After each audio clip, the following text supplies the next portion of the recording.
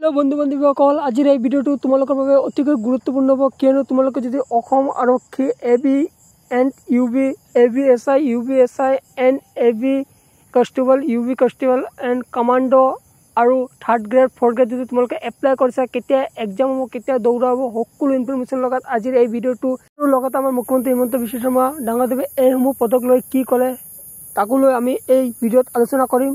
আৰু ভিডিঅ'টো আৰম্ভ কৰাৰ আগতে আপোনালোকলৈ সৰু এটা ৰিকুৱেষ্ট আপোনালোকে যদি এই চেনেলত প্ৰথমবাৰ আহিছে প্লিজ চেনেলটো ছাবস্ক্ৰাইব কৰি ল'ব ভিডিঅ'টো এটা লাইক কৰি দিব বলক ভিডিঅ'টো আৰম্ভ কৰোঁ। প্ৰথম শুনি লওক আমাৰ মুখ্যমন্ত্ৰী ডাঙৰদেৱে কি বুলি ক'লে এই পদসমূহক লৈ। এয়া শুনক কি ক'লে?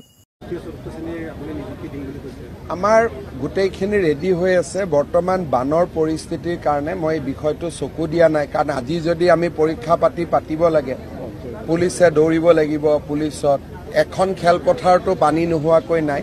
সেইকাৰণে জুলাই মাহটো অপেক্ষা কৰি লওঁ। তাৰপিছত এই বছৰতে আমি চব চেছ কৰিম। এই প্ৰকল্পটো হাতত লৈছিলোঁ। আমাৰ গোটেইখিনি ৰেডি হৈ আছে। বৰ্তমান বানৰ পৰিস্থিতিৰ কাৰণে মই এই বিষয়টো চকু দিয়া নাই। কাৰণ আজি যদি আমি পৰীক্ষা পাতি পাতিব লাগে পুলিচে দৌৰিব লাগিব পুলিচত এখন খেলপথাৰতো পানী নোহোৱাকৈ নাই। সেইকাৰণে জুলাই মাহটো অপেক্ষা কৰি লওঁ। তাৰপিছত এই বছৰতে আমি চব চেছ কৰিম।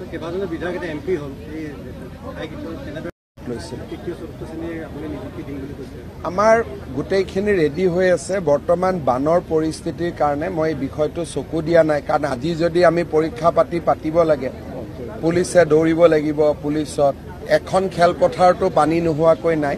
সেইকাৰণে জুলাই মাহটো অপেক্ষা কৰি লওঁ। তাৰপিছত এই বছৰতে আমি চব চেছ কৰিম।